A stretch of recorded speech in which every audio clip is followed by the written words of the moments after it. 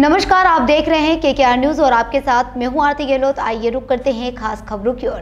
राजधानी भोपाल में मंगलवार को मध्य प्रदेश नर्सिंग के छात्र छात्राओं ने जनरल प्रमोशन दिए जाने की मांग को लेकर चिकित्सा शिक्षा मंत्री विश्वास सारंग के शासकीय आवास पर नारेबाजी करते हुए विरोध प्रदर्शन किया।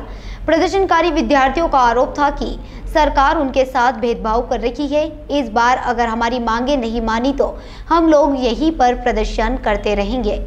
भोपाल से संवाददाता सहूद सिद्दीकी की रिपोर्ट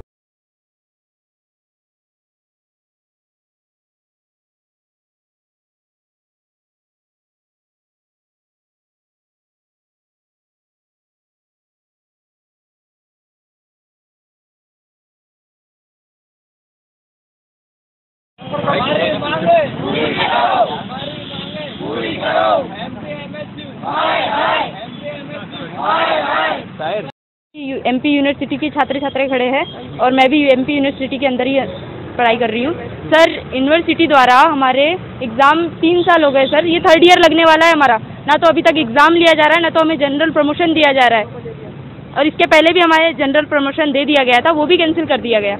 एक महीने बाद। तो एक महीने तक क्या यूनिवर्सिटी सोई थी और वो भी इस बेसिस पे कि हमारे हाथ गलती हुई है। सर हम यहाँ पे विश्वास सारंग जी से मिलने आए हैं। और हमारी मांगे हम उनके सामने रखने आए हैं। पहले भी किए थे पर सर हमको दो तीन दिन का टाइम देके यहाँ से जाने का कह दिया जाएगा यस सर यहाँ सर यहाँ छोड़ो हम जबलपुर तक जाके आ चुके हैं सर। पर हमारी मांगे वही सर। ना बस दो तीन दिन दो तीन दिन का समय देके हमें आवेदन को टाल देते सर हमारा। कुल मिला के आप लोगों को सुनवाई नहीं करना नहीं नहीं सर। भविष्य यूँ ही बर्बाद हो जाएगा। यूँ ही सर तीन साल तो हो ही गए हो ही रहा है। चार साल की डिग्री आठ साल में दे रहे हैं सर। फ़र्स्ट ईयर के एग्ज़ाम तीन साल में ले रहे हैं। अभी तो सर हम सागर यहाँ अलग अलग डिस्ट्रिक्ट के स्टूडेंट आए हैं सर।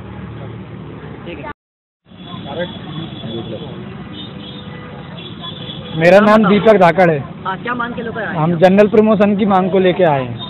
किस विभाग में पढ़- क्या पढ़ाई कर रहे हैं? बीएससी नर्सिंग तो सरकारी कॉलेजों में या प्राइवेट कॉलेज प्राइवेट कॉलेज भी सरकारी कॉलेज भी। यूनिवर्सिटी इसकी एक ही है Jabalpur. M P M S C लगातार मांग कर सुनवाई नहीं हो रही है हाँ यहाँ पे ये रीजन है जब भी आते हैं तो इनसे बोलते हैं तो एक ही बात बोलते हैं। तीन दिन बाद आना आप ज्ञापन दे जाओ हम देख लेंगे। यही क्यों आ रहा जब सुनवाई नहीं हो रही है तो ये चिकित्सा मंत्री है। जब तक ये नहीं बोलेंगे तब तक कुछ नहीं होगा। क्या करो आगे हम यही करेंगे कि सब लोग फांसी लगाएँगे या रैली निकालेंगे जितने भी स्टूडेंट हैं हम एक साल से आ रहे हैं यहाँ पे रेगुलर अभी तक नहीं हुई। सुनवाई।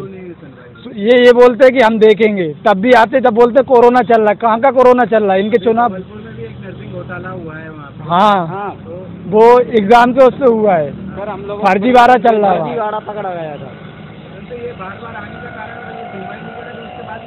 हम यहाँ पे प्रदर्शन करेंगे सभी स्टूडेंटों को बुलाएँगे। नब्बे हज़ार स्टूडेंट हैं। एक सौ आठ कॉलेज हैं भोपाल में और बाहर भी हैं हर क्षेत्र में कॉलेज हैं। अब स्टूडेंट का एक ही कहना है यहीं मरेंगे यहीं खाएँगे यहीं जिएँगे कुछ नहीं करेंगे। आज क्या आप बैठने वाले नहीं यहीं बैठेंगे। एक महीने तक बैठना पड़ेगी तो यहीं बैठेंगे। जी? अभी मुलाकात नहीं हुई है बोला विधानसभा चल रही है। अभी हम सुबह से हैं ग्यारह बजे से। फ़िलहाल खबरों में इतना ही। आगे की और तमाम खबरों को जानने के लिए आप चैनल को लाइक, शेयर, सब्सक्राइब करना ना भूलें।